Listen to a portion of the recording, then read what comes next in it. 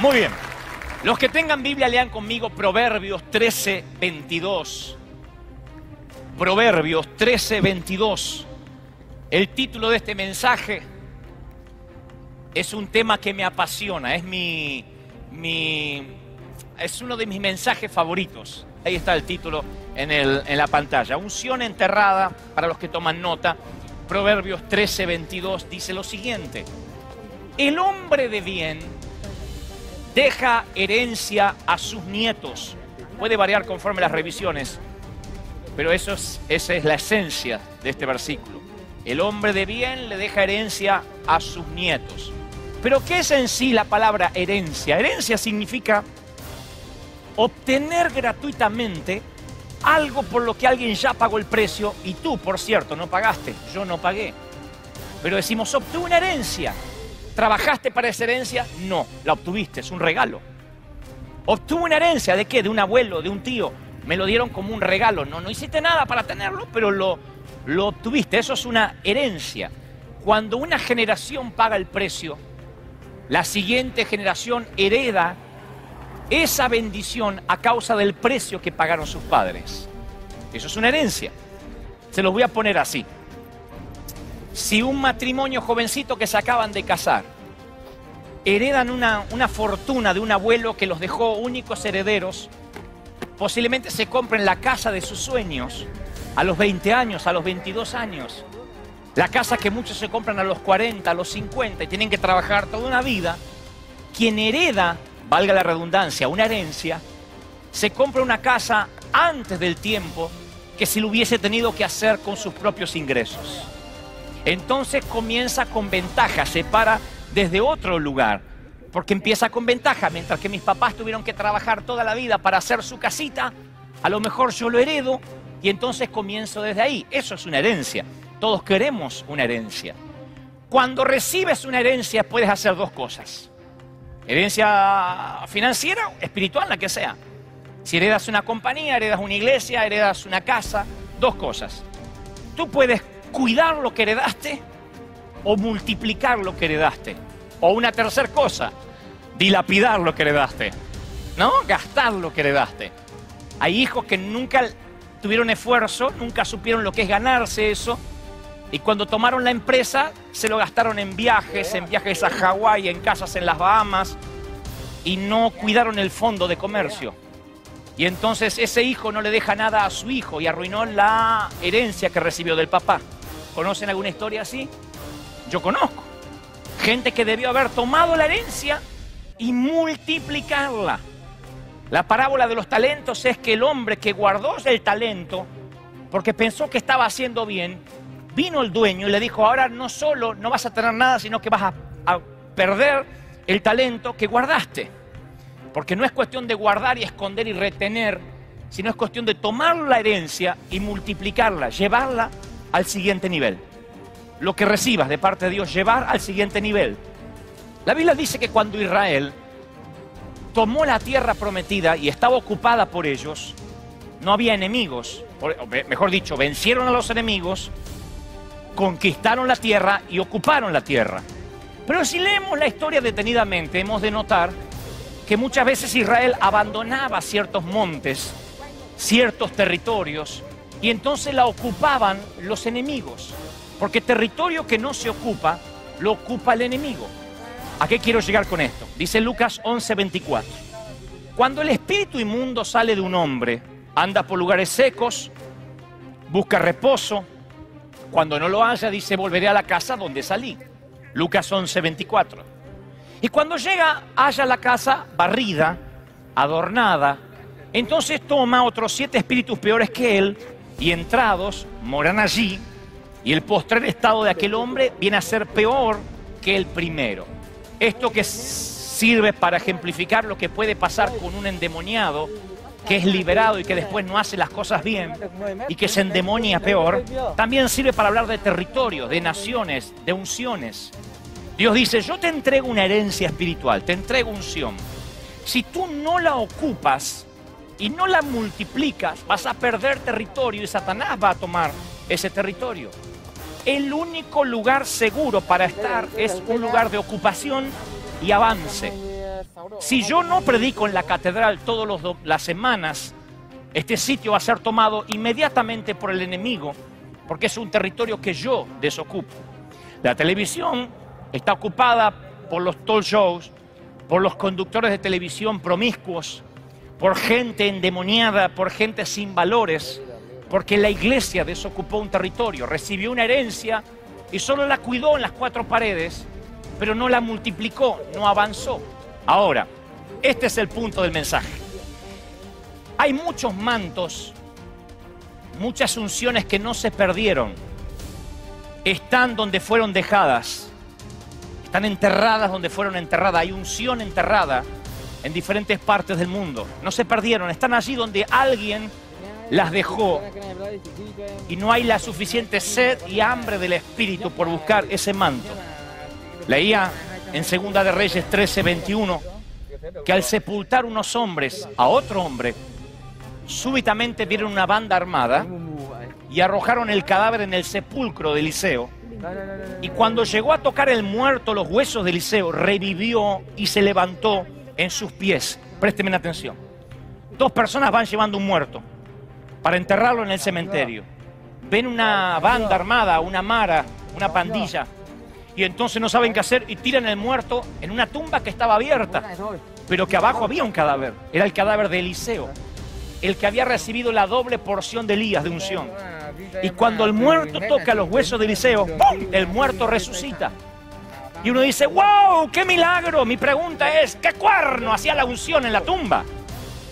¿Por qué esa unción no estaba en manos de alguien más? Porque la unción no sirve para la tumba, para que a ver si de casualidad cae un muerto arriba. La unción sirve para los que estamos vivos.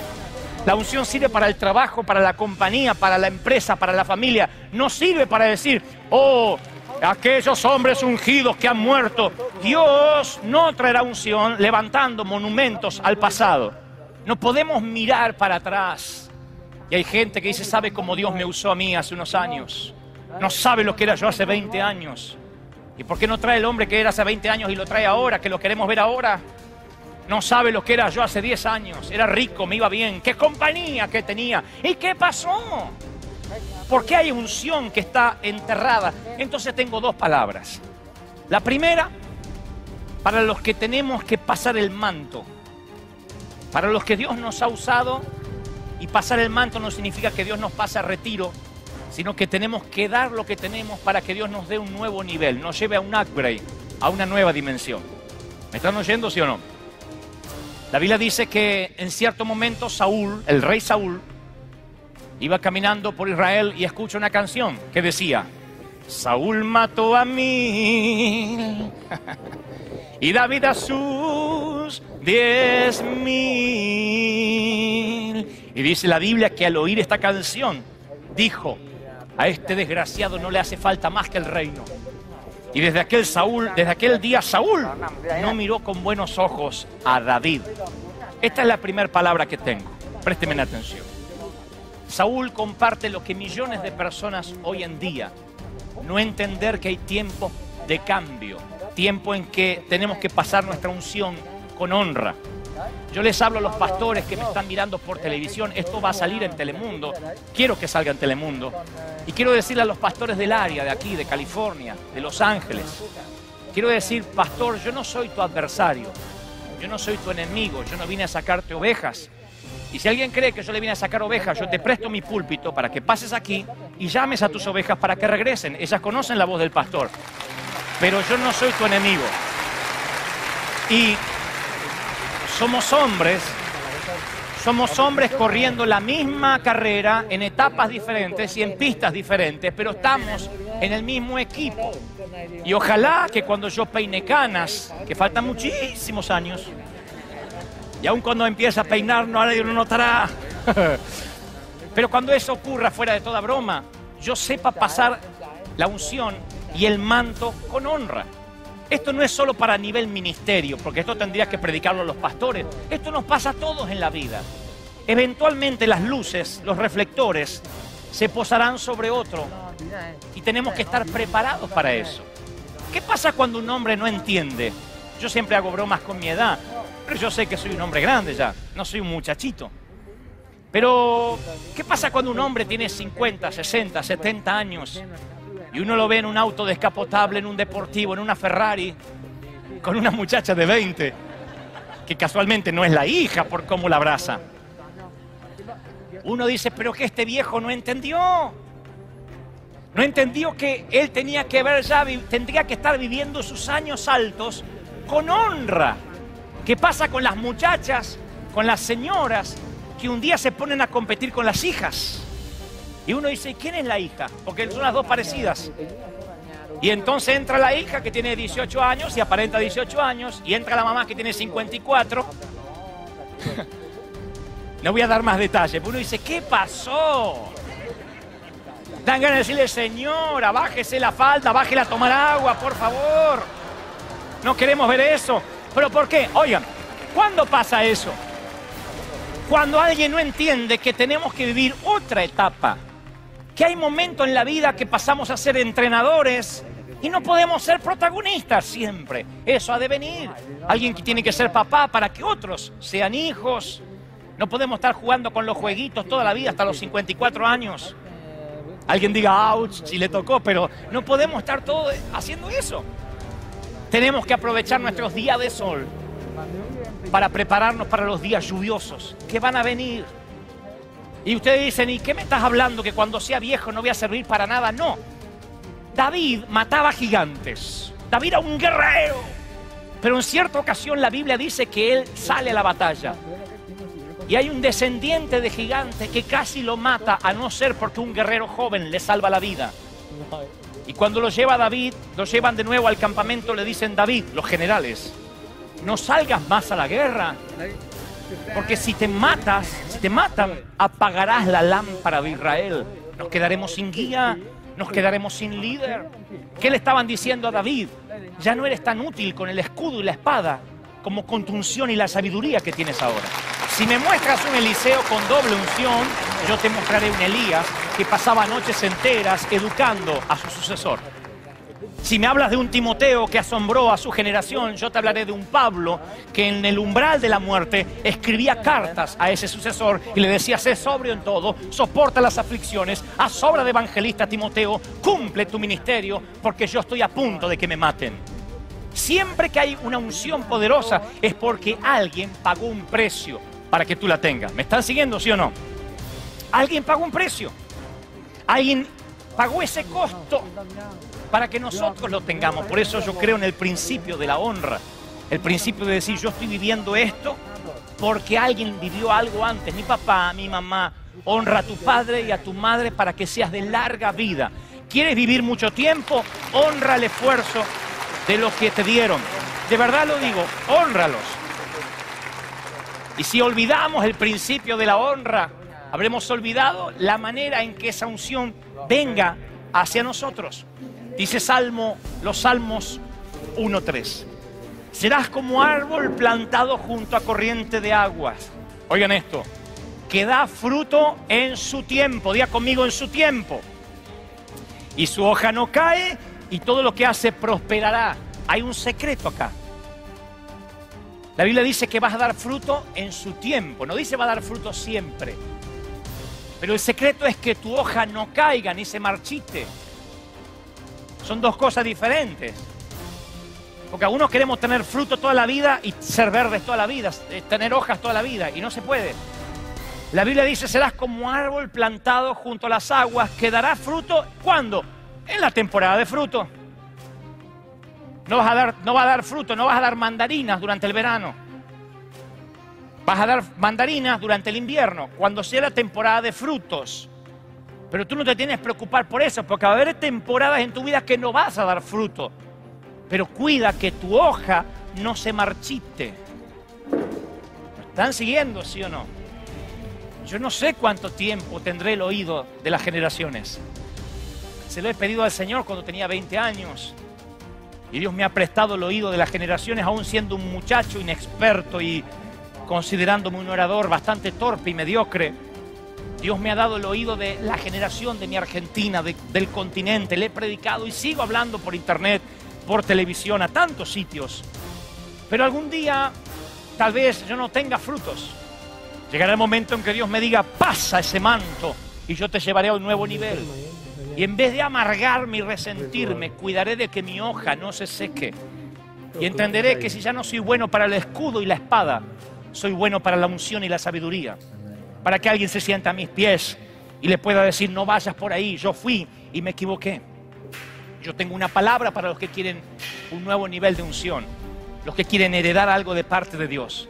Eventualmente en la vida, alguien te va a influir eternamente, alguien entrará a tu vida y te permitirá caminar con él. Elías pasó, Eliseo estaba con 12 yuntas de bueyes y le dijo, y cuando Eliseo lo vio, reconoció la unción, le dijo, déjame que me deshaga de esto y te siga. Y empezó a caminar con el hombre de la unción.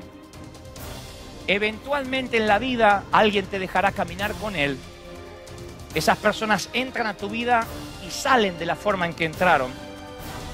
Entran a tu existencia sin que te des cuenta y es un huésped, está de paso por tu vida. En las empresas, en las compañías, en los ministerios, en las iglesias. El secreto es saber reconocerlos. Son ángeles disfrazados.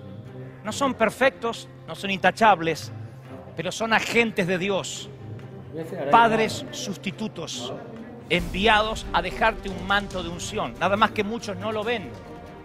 Y como no se dan cuenta, esa unción muchos se la llevan a la tumba y la entierran. Porque no está en el que lo quiere dar, sino el que lo quiere recibir. Hoy, hoy veníamos hablando en el automóvil para acá y Liliana me decía, ¿cuántos en las noches de ADN, en los mensajes del domingo, de verdad estarán asimilando lo que Dios nos da. ¿Y cuántos solo vendrán porque sí? Porque es divertido, porque está la catedral, porque pasa algo lindo, porque hay visitas. ¿Cuántos de verdad lo valorarán? Nunca lo sabremos. Quizás sí, quién sabe. Quizás algún día alguien me llame de la India y me diga, estoy revolucionando la India, ¿se acuerda quién soy? No, soy ese que se sentaba en la penúltima fila. Recibí, capté su unción, caminé con usted y hoy estoy llevando esa gloria a las naciones. Yo fui parte de ese avivamiento. Yo fui parte de esa unción. ¡Aleluya! ¡Wow! Y aconteció que yendo ellos, un carro de fuego arrebató a Elías. Y Eliseo se quedó mirando en algún momento ese hombre se irá. Y entonces tendrás que captar el manto, tomarlo rápido y multiplicar la herencia que se te fue dada. Eliseo a la vez tuvo un siervo llamado Giesi. Y en cierta ocasión, un general del ejército de Siria, enfermo de lepra, vino a ver a Eliseo. Y Eliseo le dijo, ve a lavarte al Jordán, etcétera, etcétera. Se sana de la lepra. Y entonces el general quiere darle oro, quiere darle cosas a Eliseo. Y él dice, no, no, no, no, no, no, no. Yo no tengo nada que ver, no me des nada. Y Giesi, en vez de procurar la doble unción de Eliseo, se quedó mirando las joyas y el oro de Namán. Y entonces se fue corriendo detrás de Namán y dijo, ¡ey, ey, ey! Mi jefe se arrepintió, deme algo de oro. Y se quedó con el oro, se quedó con las provisiones. Y Eliseo le dice, Giesi, es tiempo de tomar plata. Es tiempo de pensar en tu casa, en el mortgage. Es tiempo de decir, vengo acá para ver qué Dios me puede dar. ¿Te parece que sea tiempo de eso? Tan mediocre será tu búsqueda, y que estás buscando viñas, ovejas, olivares, bueyes. ¿No te das cuenta que estás caminando con un hombre de doble unción? Y lo que estás viniendo a la iglesia es para ver si me sale un trabajito, para ver si consigo novia o pago el crédito. Eso vendrá, lo tendrías, y ahí sí, si no lo buscaras como prioridad. Ahora, por tanto, la lepra de Namán se te pegará a ti. Y yo he visto hombres de Dios a los cuales la lepra, el pecado, la maldición se le pegó estando bajo la sombra de un hombre de Dios. Mi pregunta es, ¿Cuántos estarán viendo la unción? ¿Cuántos se darán cuenta que este es un tiempo de caminar bajo la gloria de Dios? Yo caminaba al lado de mi pastor y decía, algo se me va a pegar, algo se me va a pegar, algo se me va a pegar. Y veía a otros al lado que estaban por dinero. Y veía a otros al lado que no se daban cuenta lo que estaba ocurriendo, a pasos de la cruz, ignorando a Cristo. Y eso se sigue repitiendo. Hay gente que no sabe lo que ocurre Y hay otros que dicen, yo estoy aquí porque tengo un hambre que no puedo explicar, una sed que no puedo explicar. Y estoy esperando el momento en que esa unción venga sobre mí en doble, en tercera, en cuarta medida. ¿Cuántos tienen hambre por la unción hoy? Levanten la mano como señal. Aleluya. Aplauda al Señor. Diga, Señor, yo te aplaudo por lo que vas a hacer en mi vida. Por lo que vas a hacer en la catedral. Aleluya. Aleluya. Dile esto a tus hijos algún día.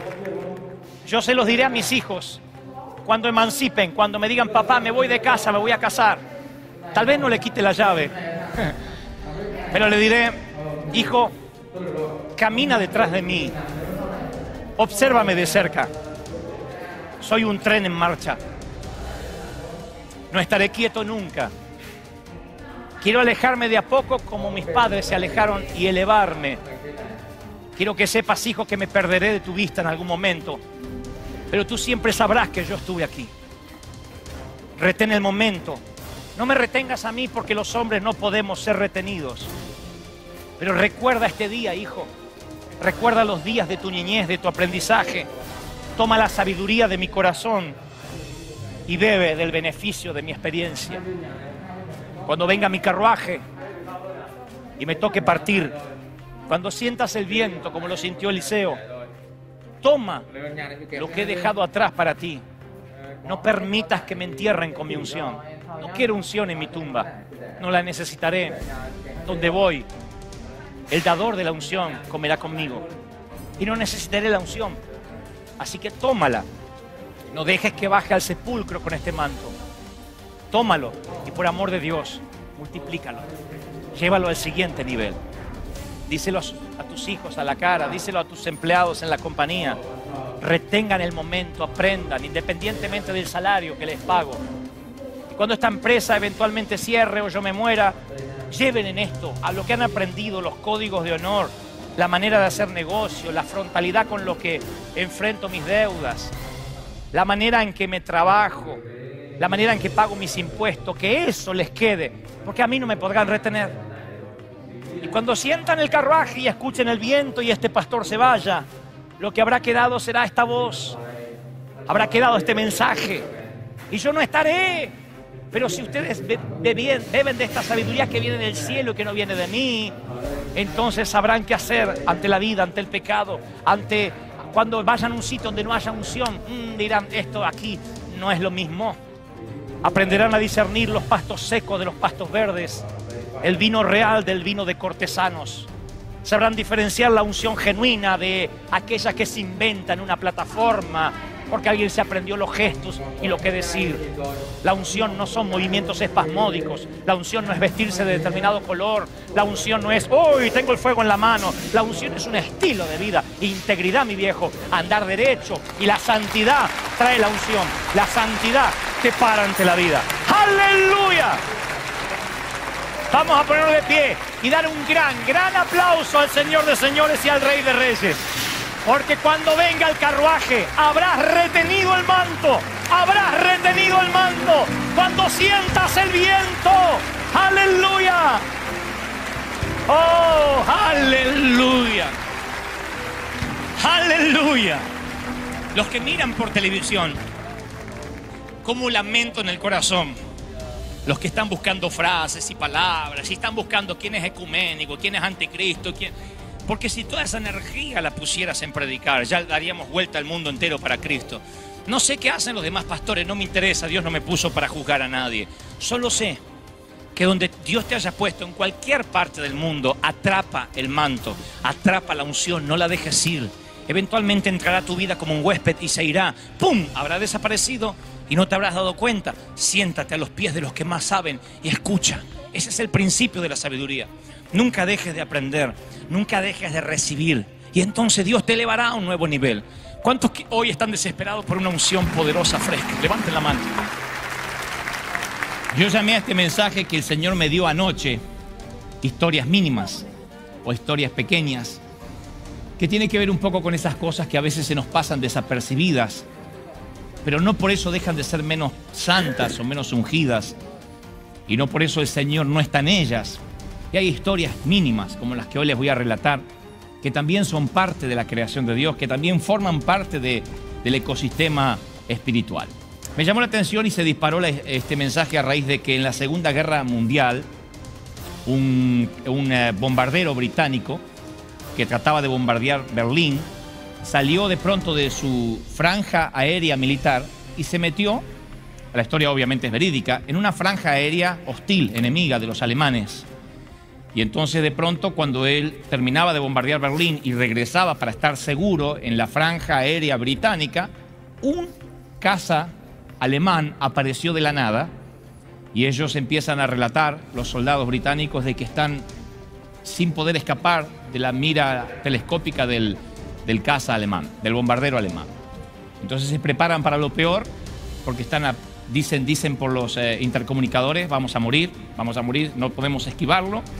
Y el caza alemán dispara una, una, cierta ráfaga de, de, obviamente, de balas, pero hay cinco que pegan cinco balas trazadoras que pegan en el combustible eh, del, bombardero británico. Ta, ta, ta, ta, ta. Y cinco que se sienten claramente. Y ellos esperan lo peor, que es la explosión. Pero no explota. El avión británico no explota a pesar de que cinco balas pegan literalmente en el combustible, en el tanque del combustible. Les sorprende lo que está ocurriendo, aún así logran escapar del caza alemán y llegan a la base británica. Y cuando llegan, el, mecánico empieza a revisar el tanque y descubre que las balas, las cinco balas, están, los cinco proyectiles están abollados, pero que no tienen pólvora adentro. Y entonces el piloto lo abre con cuidado y una de las cinco balas o uno de los cinco proyectiles tiene un diminuto papel que dice lo siguiente. El papelito dentro de la bala decía, somos prisioneros de guerra polacos, forzados a hacer balas en una fábrica. Cuando las guardias no nos miran, no las rellenamos con pólvora. No es mucho, pero es lo mejor que podemos hacer aquí. Díganle a nuestras familias que estamos vivos y estaba firmada por cuatro prisioneros de guerra. La historia me sorprendió porque entre millones y millones y millones de balas con pólvora, estas sí marcaron la diferencia. Porque a alguien se le ocurrió meter un diminuto papel en lugar de pólvora. A partir de esa historia yo anoche pensaba, porque uno descubre de que hay muchos héroes semi escondidos en la vida cotidiana. Gente que hace cosas que a lo mejor son pequeñas, pero ahí están. La vida espiritual no es una vida de éxito. La vida espiritual no es, hermano, vivimos de victoria en victoria, aunque suena bien, aunque yo como predicador lo digo, hermano, viva la victoria de Dios. La vida espiritual no es una vida de éxito tras éxito, tras éxito, tras éxito, es una vida de fidelidad. ¿Cuántos me siguen hasta ahí? Díganme, amén. Una vida de fidelidad cuesta, como cuesta la vida matrimonial, como cuesta ceder cosas con las cuales no estamos de acuerdo, pero cedemos por cuestiones de amor. Un matrimonio no es una cuestión que puede estar basada en el sexo. Nadie puede decir, sabe, yo estoy casada con este bestia peluda, pero estoy con él porque tenemos buen sexo, buena intimidad. Eso no puede mantener una relación, porque luego hay un montón de otras cosas que son pequeñas muestras de amor a diario y son detalles pequeños lo que van construyendo un gran matrimonio. No son solamente un ramo de flores de vez en cuando, una salida romántica, son pequeñas balas sin pólvora en medio de millones de otras que terminan matando a mucha gente. Son los pequeños detalles los que hacen un matrimonio feliz. Y son los pequeños detalles los que hacen una vida cristiana de fidelidad. ¿Me siguen hasta ahí? ¿Sí? Pequeño detalle. Ahora, la mayoría de la gente está enamorada del éxito y muy pocos entienden que la vida cristiana se hace con pequeños detalles, con historias pequeñitas todos los días, con pequeños detallecitos que nos acercan un poquitito más a Dios cada mañana. Pero no es algo, eh, un movimiento eh, rápido, ampuloso, donde alguien me impone las manos y yo hago, y ya soy santo. Eso no ocurre, sino que de pronto con pequeños detallecitos nos vamos acercando al Señor. Dios siempre prefirió lo pequeño, eh, la, la, oveja perdida a las 99, Gedeón y los 300 antes que los miles de madianitas, David, un pastorcito tímido, pequeñito, jovencito, antes del gran Goliat que venía con los ejércitos filisteos, la moneda perdida, el hijo pródigo, la semilla de mostaza. Y nosotros vemos la Biblia y decimos, sí, son cosas pequeñas, pero yo quiero hacer cosas grandes como el Señor. Y quiero que me presten atención bien y esencialmente si están mirando por televisión para que no me apedreen ni me manden piedras por correo. Escuchen lo que les voy a decir. Nosotros hemos exagerado el ministerio de Jesús a tal punto que pensamos que todo fue grandioso y espectacular. Pero no hizo grandes cosas, hizo algunas pequeñas cosas y luego desapareció. Pero esas pequeñas cosas, al tener a Jesús involucrado, fueran cosas que cambiaron completamente el universo. Pero no eran grandes cosas. El Señor, ustedes dirán, bueno, pero Él le predicaba a las multitudes. Sin embargo, la Biblia dice que Él le huía a las multitudes en más de una ocasión. En más de una ocasión le decía a los discípulos, sáquenme de aquí y vamos, a un, vamos pasemos al otro lado. Él no le gustaba tener una gran multitud y cuando tenía una gran multitud le decía, miren que esto no es fácil. Hay que llevar la cruz. A ver, todo el mundo cargue la cruz. Y hay que renunciar. Y cuando alguien le decía, Señor, yo te quiero seguir, le decía, vende todo lo que tienes y sígueme. Nunca hizo las cosas fáciles. Siempre fueron pequeñas decisiones, diminutas, que a muchos les costó un montón para poder seguirle. ¿Dónde estaban los eh, fanáticos?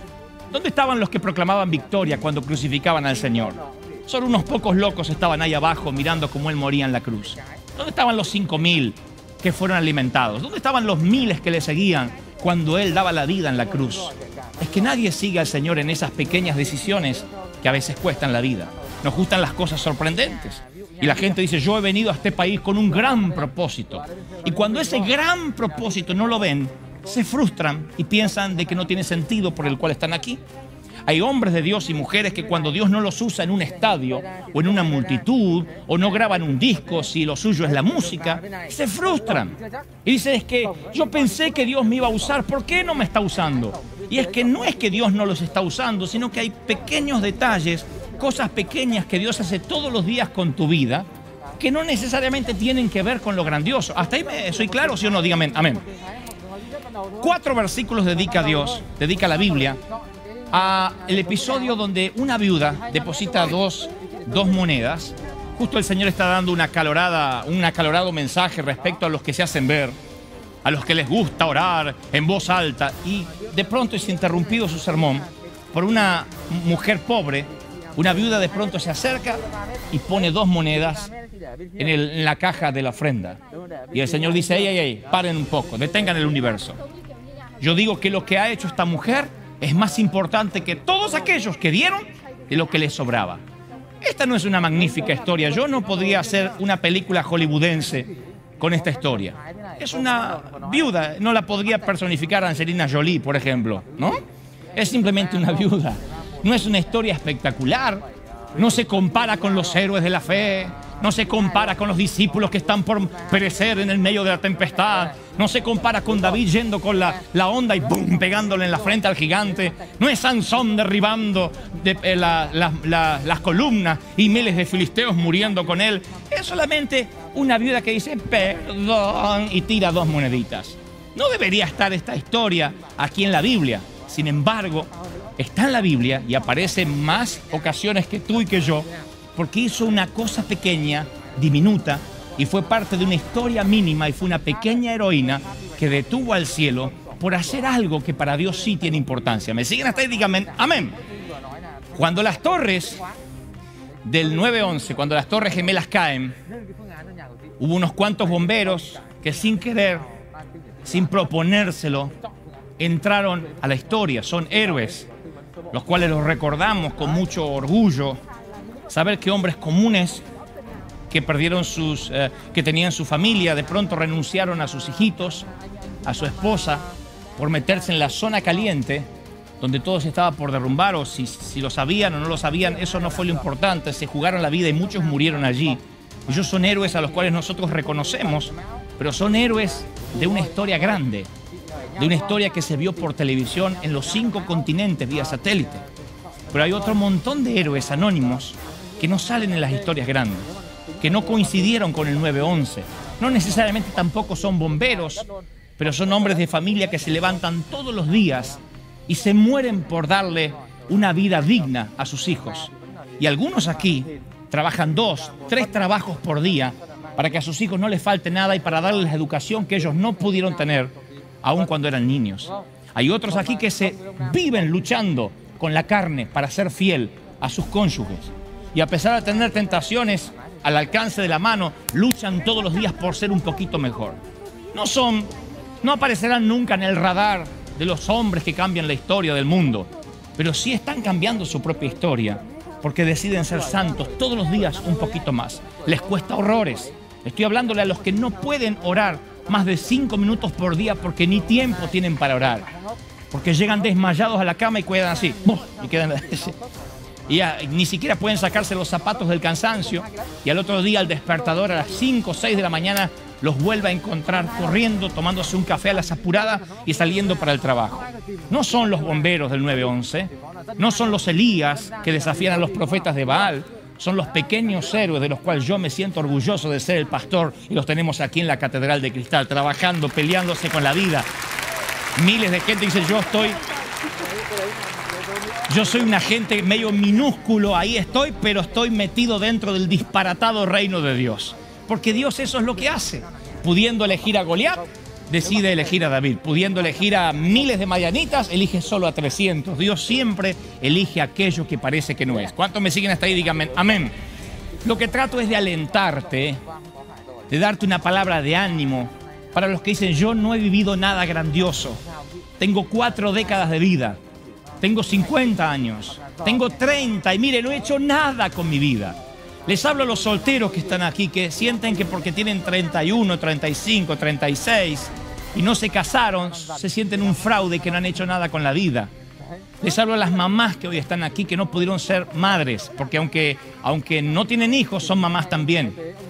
Aquellas que dicen, pero yo soy mamá, me muero por mis sobrinitos, por cuando veo un neno, pero un niño ajeno, pero yo no pude ser mamá propia, yo no pude gestar un niño y se sienten frustradas, sienten que Dios las dejó afuera de todo plan divino. A los anónimos, a los invisibles, a los que hoy hicieron un trabajo minúsculo, no solo aquí en la iglesia, sino en lo que esta semana dedicaron horas para sentarse con ese hijo que ustedes muy en el interior dicen, ay, qué burro que me salió, salió el padre este, lo tengo que ayudar. Nadie estuvo ahí para aplaudirte.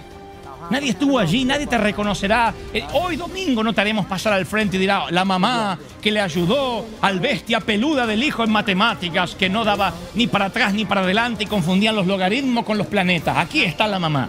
No lo haremos. Pero eso no quita de que no hayas hecho un acto heroico durante la semana. Es un acto heroico vivir en un país que no es el tuyo. Es un acto heroico permanecer en un lugar que a lo mejor no es eh, un lugar muy visible, pero ahí estás. Y este es el episodio bíblico que yo quiero regalarles a ustedes hoy en Romanos capítulo 16. Porque eh, quizá nunca en la vida volverán ustedes a escuchar de esta gente. Quizá esta sea la primera y última vez que ustedes escuchen de esta gente que yo les voy a hablar ahora. Romanos capítulo 16, versículo 1. Dice lo siguiente. Está escribiendo el apóstol y dice lo siguiente. Romanos 16, 1. Os recomiendo a nuestra hermana Febe. ¿Cuántos alguna vez escucharon el mensaje acerca de Febe? ¿Cuántos? No me mientan, nunca en la vida. ¿Quién, quién predicó de Febe? La cual es diaconisa. Que la reciban como es digno de los santos, que la ayuden en cualquier cosa. Porque ella ha ayudado a muchos y me ha ayudado a mí, dijo el apóstol Pablo. Ah, saluden a Priscila y Aquila, mis colaboradores que expusieron su vida por mí Versículo 7. Saluden a Andrónico y a Junias. Aquí tienen otros dos que jamás volverán a escuchar en público. Andrónico y a Junias. Y de paso tienen dos nombres para sus próximos hijos, si no tenían idea. Andrónico, para acá, ven para acá. Andrónico, ven para acá. ¿Por qué me llamaste así, mamá? Por un mensaje que una vez escuché del pastor. Andrónico.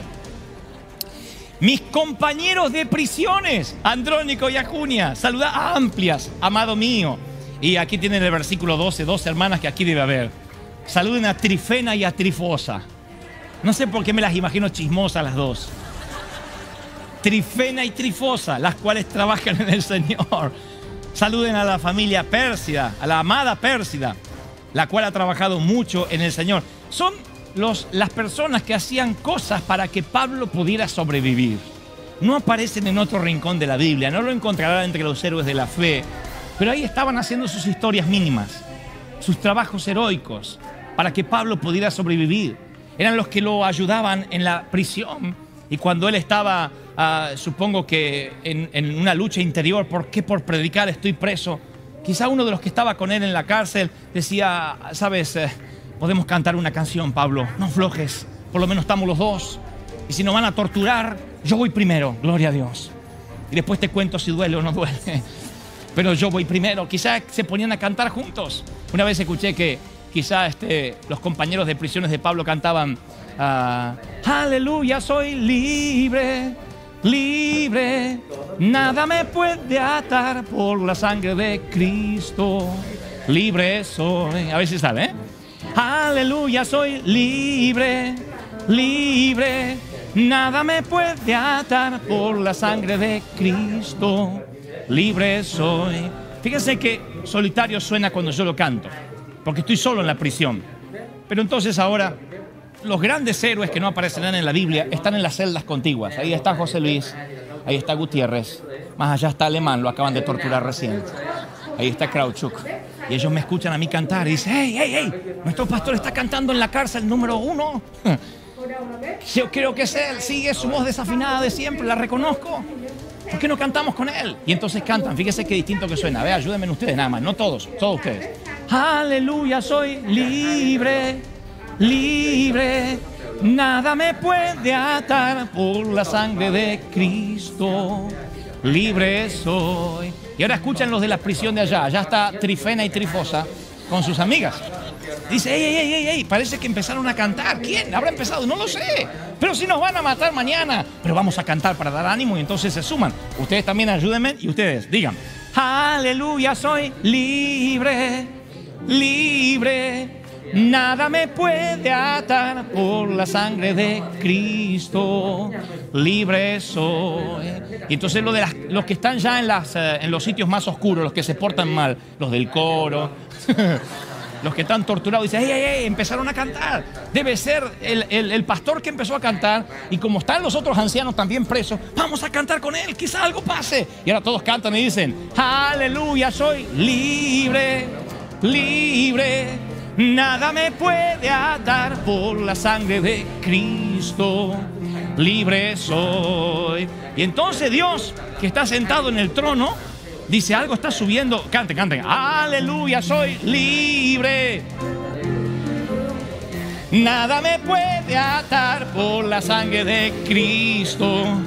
Libre soy. Entonces Dios empieza a mover el pie. Así.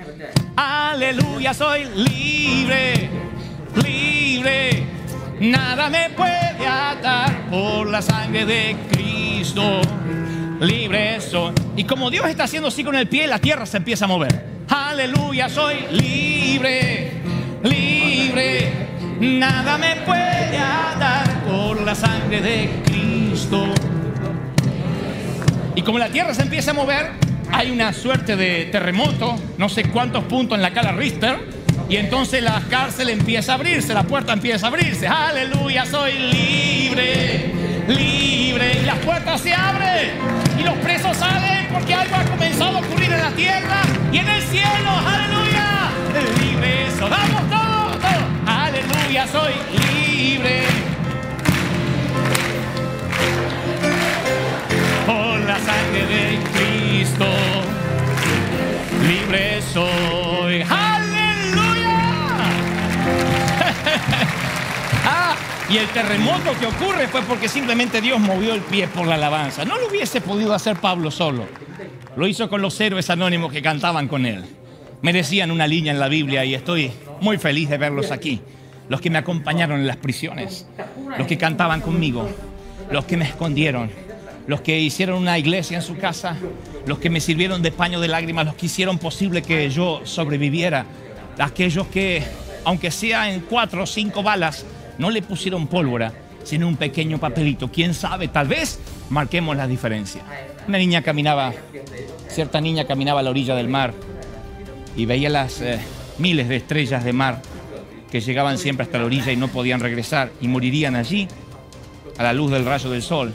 Y entonces de a una ella empezó a levantarlas y las tiraba al océano. El papá le dice, no lo hagas, hay más de 8 millones de estrellas de mar. nunca lo lograrás, nunca vas a terminar. Y ella agarró una y dijo, sí, pero para esta sí, marqué la diferencia, para esta sí es importante, y la tiró al mar. Aunque quedaran 7.999.999, para una sí marcó la diferencia. Esas son las pequeñas, las pequeñas historias mínimas. Los pequeños héroes, lo que a veces decimos, pero es que por más que yo invite a alguien, ese alguien no va a llenar la iglesia. Es un grano de arena olvidado a la orilla del mar. Pero porque tú lo haces, de pronto, quizás tal vez por cantar en una prisión, los cielos se conmuevan, el Señor empieza a mover el pie, las cárceles se abren y algo gigantesco ocurra a partir de un pequeño detalle. Porque tú eres un héroe que estás aquí para marcar la historia, para marcar el camino, para redireccionar la vida. ¿Cuánto lo creen? Díganme. Amén. Por un voto, Francia se transformó en república y dejó de ser una monarquía. Después de la revolución estadounidense, por un voto, por una persona, se decidió que el idioma oficial de los Estados Unidos sería el inglés y no el alemán. Por un voto, Texas fue elegida como un estado de los Estados Unidos y por un voto, Hitler tomó el partido nazi. Por un voto. Una persona puede marcar la diferencia para bien o para mal. Un profesor de castellano me inspiró a que yo leyera mucho por el resto de mi vida. Y me dijo, Goebbels, si usted lee mucho y realmente lee, algún día quizás hasta pueda escribir libros y nunca jamás tendrá errores de ortografía. Lea, lea. Cuando tenga un minuto libre, lea. ¿Qué tengo que leer? ¿Cualquier historia? Sandokan, Los Tigres de la Malasia, Historia de dos ciudades, las historias de Dickens, Príncipe y Mendigo. Lee, lee, lee. Ese hombre me inspiró a que yo hoy estuviera escribiendo libros para afectar e inspirar a millones. Otro profesor que se llamaba Jorge Basualdo me dijo, Goebbels era el profesor de educación física. Nunca intente nada en la vida, entrene. No se intenta, para hacer algo en la vida no se intenta, hay que entrenar. Un líder de jóvenes llamado Orlando una vez me dijo, Dante, tienes talento para dibujar. Si haces un buen dibujo lo pondré en el boletín dominical de la iglesia. Y fue la primera vez que publiqué un dibujo mío y me sentí un poquito famoso y sentí que quizá, tal vez, quién sabe, si yo me dejaba inspirar y hacía que mi talento se multiplicara, algún día me pagarían por dibujar. En el año 92, Claudio Freyson me enseñó a amar la unción y la presencia más que ninguna otra cosa en la vida. Jason, mi pequeñito hijo, el nuestro hijito más pequeño de un año y medio, cuando me abraza cuando regreso de un viaje me dice, papá, papá, yo siento que podría enfrentar una legión de demonios, me siento invencible, siento que nada me podría derribar, siento que nada podría contra mí, soy invencible mientras que Jason me inspire a que yo sea un buen hombre. Son los pequeños actos heroicos de la vida lo que nos hace buenas personas. ¿Cuántos lo creen? Díganme. Amén. A los que nos miran por televisión, yo quiero decirles, porque quizás están diciendo, sabes, que yo no sé si soy una persona eh, una buena persona, íntegra, no sé si lo podré hacer, no creo que realmente yo sea ese hombre de Dios que alguna vez soñé ser. El Señor me dice que te diga que así como aquí en la catedral hay un montón de héroes anónimos que día a día se pelean con la vida, que día a día tratan de tener una vida digna, que trabajan por un sueldo miserable en algo que no les gusta, pero lo hacen sin chistar, porque saben que el recurso no es robar, el recurso no es pedir ni reclamar, el recurso es trabajar duro, como a lo mejor vieron a sus padres. Son héroes, héroes que si aún la Biblia se estaría escribiendo, aparecerían en alguna línea en la Biblia, dirían, ay, ay, ay, ay. Y no olvidemos a fulano que todas las mañanas se levanta en el gran Los Ángeles, en el gran sur de California, y se mete en esa jungla de cemento del freeway y todos los días pasa dos horas en el tránsito solo para traerle un poco de dignidad a su familia. Claro, no es una historia para hacer una película, no es el guion central del cine, pero ahí estarían, son los héroes anónimos que marcan la diferencia, de los cuales yo me siento orgulloso de pertenecer. Los hispanos, que aunque nos doblemos somos como el junco, nos doblamos con el viento y nos volvemos a levantar. Los que nos acostumbramos a la crisis. Los hispanos que cuando un americano nos dice, estamos en crisis, nosotros decimos, bienvenido a mi mundo. Así funciona. Y a esos héroes, a esos que viven las historias mínimas, yo los quiero invitar aquí porque esta no es una iglesia de grandes personalidades. No, ver, no, no verán ustedes a muchos evangelistas, grandes pastores o tremendos músicos aquí. No, Señor, la Catedral de Cristal es para los confundidos, para los inadaptados, para los que tienen problemas, para los que les va a tropezones en la vida, para los que no les ha ido bien, para las familias disfuncionales, para los que vienen de divorcios, de divorcios de sus padres y sus propias historias. Esta es una iglesia para gente herida, para gente con complicaciones, gente con problemas y con cientos de limitaciones. Ah, pero es la iglesia donde cambian de vida porque saben que día a día se transforman en pequeños héroes. Te esperamos aquí, en la Catedral de Cristo.